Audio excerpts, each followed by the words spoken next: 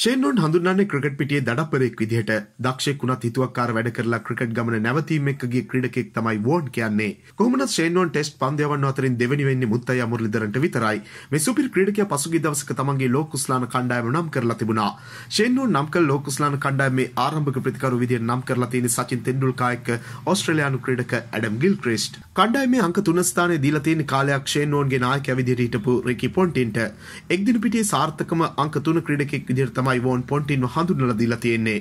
කණ්ඩායමේ වැදගත්ම ප්‍රතිකරණ ස්ථානයක් වන අංක 4 දීලා තියෙන තවත් සුපිරි ප්‍රතිකරුවෙක්ට ඒ වමත් ප්‍රතිකරු බ්‍රයන් ලාරා තමයි ඔහුගේ හතරවන ක්‍රීඩකයා.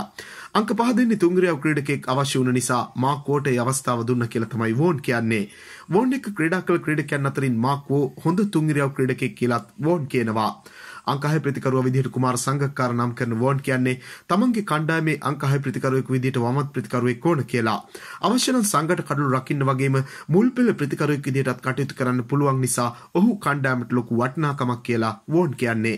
ඇන්ඩරු සයිමන්ස් කණ්ඩායමට දාන්න ඕන උනත් ඇන්ඩරු ෆ්ලින්ට් ඔෆ් ප්‍රතිකරුවෙක් විදිහට වගේම පන්දු යවන්නෙක් විදිහටත් පෙන්වලා තියෙන වැඩ එක්ක ඔහුට තැන දෙන්න ඕන කියලා තමයි වෝන් කියන්නේ. සයිඩ් ඇෆ්රිඩි පන්දු යවන්නෙක් විදිහට අඩු තක්සේරුවකට ලක් වුණු ක්‍රීඩකෙක් වුණත් ඔහු පන්දු යවන්න යවන්නෙක් විදිහට ලොකු දෙයක් කරන්න පුළුවන් ක්‍රීඩකයෙක් නිසා වෝන්ගේ කණ්ඩායමේ පාදක පන්දු යවන්නන්ගේ තැන දීලා තියෙන්නේ ඇෆ්‍රෙඩීට.